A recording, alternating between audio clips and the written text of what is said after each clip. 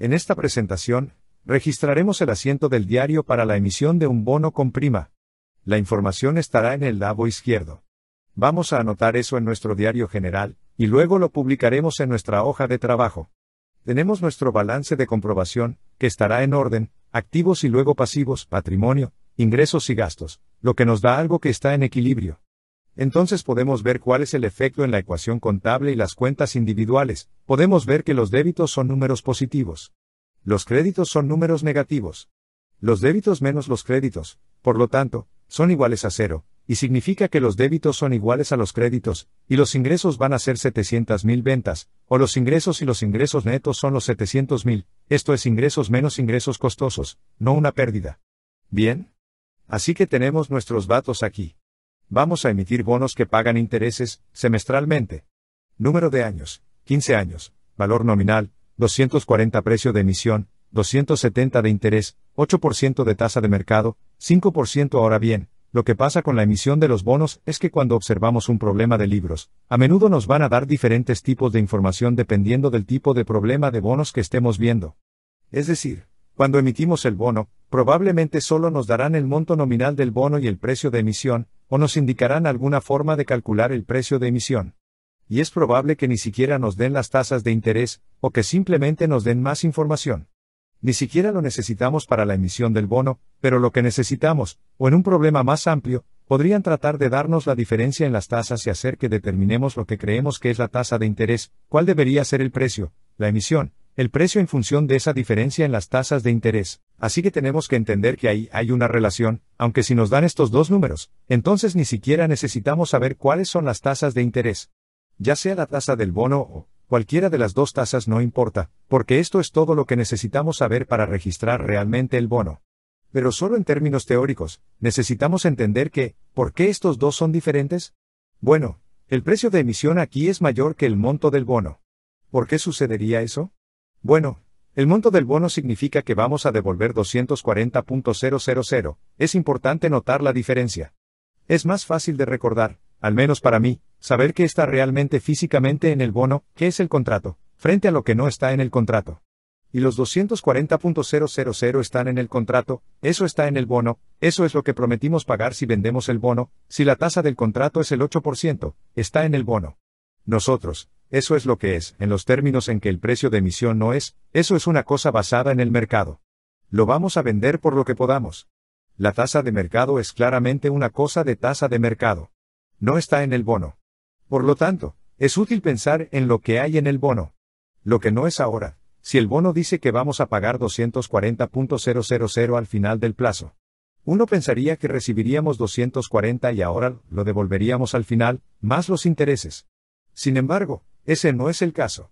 Vamos a obtener 270 debido a los rendimientos que vamos a pagar que tenemos en el contrato. Vamos a devolver, según el contrato, el 8%, pero si la gente se fuera a otro lugar, solo obtendría el 5% del contrato. Por lo tanto, no podemos cambiar estas tarifas. Ya están ahí. Eso significa que lo que vamos a hacer es decir, bueno, les devolveremos 240, pero les estamos dando más intereses de lo que otros lo harían, y por lo tanto esperamos más dinero ahora. Así que vamos a vender el bono por lo que podamos, y se ha determinado que podemos venderlo en el mercado a 270, presumiblemente debido a la diferencia entre la tasa de interés del mercado y lo que tenemos en el bono. Pero en cualquier caso, si tenemos estas dos piezas de información, podemos construir la transacción en ellas usando eso. Y yo me acercaría a esto siempre haciendo la entrada del diario haciendo nuestras preguntas. En primer lugar, ¿se ve afectado el efectivo? Vamos a decir, sí, por eso estamos emitiendo el bono. El efectivo está subiendo. El efectivo tiene un saldo deudor. Haremos que suba, haciéndole lo mismo otro débito. Entonces, en G3, haga clic derecho y copie. Vamos a ponerlo arriba, en C3, clic derecho y pegar. 123 y las cantidades que vamos a obtener van a ser iguales a eso. Bueno, lo acaban de dar aquí, así que nos lo van a dar a nosotros en este problema. Así que son 270 y luego vamos a acreditar lo que debemos, como si fuera un pagaré. Así que voy a acreditar bonos pagaderos, solo un pasivo. Se lo debemos. Vamos a decir clic derecho y copiar. Pon eso en C4, haz clic derecho y pega, 123, ahora la cantidad será diferente, sin embargo, porque vamos a deber lo que esté en el contrato, que es la cantidad nominal. Entonces, después de 15 años, vamos a devolver el crédito por 240.000 o más. La diferencia entre esos dos es algo que vamos a necesitar. Es un crédito este caso 270 menos 240 o 30.000, lo haremos con una fórmula de enchufe, que es menos S, U, M, haga doble clic en la función suma y resaltaremos esas cuatro celdas, e ingresaremos para que estén las 30.000, ¿dónde va a ir eso? Bueno, ahora la pregunta es, ¿es un descuento o una prima? Por lo general, aquí podemos ver que es una prima porque está en nuestro problema. Pero, por lo general, esa va a ser la pregunta. Bueno, como lo sabes, por lo general, lo pienso en términos de la persona que compra el bono, es decir, si estaba comprando algo y básicamente tenía un monto nominal, algo así como el precio de etiqueta de 240 y estamos pagando más por ello. Estamos pagando 270 y luego no obtenemos un descuento. No lo compramos por menos, compramos más. Lo estamos comprando a un precio superior. Así es como yo lo pensaría. Pensaría, ¿es un descuento primero? Si no lo es, entonces debe ser una prima. Así que estamos vendiendo esto en nuestro caso a una prima. Así que aquí está la prima. Va a estar en la sección de pasivos, y va a estar vinculado a la cuenta de bonos, como veremos.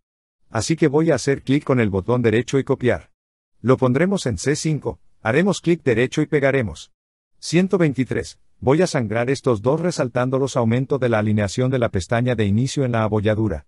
Así que ahí está nuestra transacción. Vamos a publicarlo y ver qué pasa. Aquí hay dinero en efectivo. Y fíjate en lo que no usamos en este tránsito. No necesité las tasas de interés en absoluto. Nos dieron el precio por el que lo vendimos, y el valor nominal.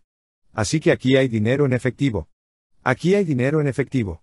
Vamos a estar en I, tres iguales, y vamos a ir a los 270 trayendo dinero en efectivo. Y luego vamos a ir a los bonos a pagar. Aquí están los bonos a pagar. Estamos en I, seis iguales. Vamos a aumentar el bono pagadero al 240 y entrar, y luego vamos a ir a la prima aquí en I7 igual a la prima, subiendo la prima. Y ahí lo tenemos. Ahora te estarás preguntando, bueno, ¿cómo lo sabrías? ¿Sabes cuál será el precio de emisión?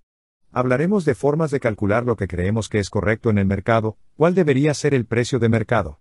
Pero, de nuevo, los problemas suelen separar esos dos tipos de cosas de la grabación, dándonos lo que sea que vendamos, y lo intentamos. Y otra cuestión es cómo determinar a qué deberíamos venderlo. Bien, ahora tenemos esto en los libros. Podemos ver que el pago es por 240, podemos ver que no necesitábamos los intereses en absoluto. Ahora no pasa nada con los gastos por intereses. Es como una nota. Pasó a los libros. Ahora se lo debemos. Comenzaremos a lidiar con el interés a medida que pase el tiempo. Eso es el interés. Es como el alquiler del préstamo que obtuvimos, el dinero que obtuvimos.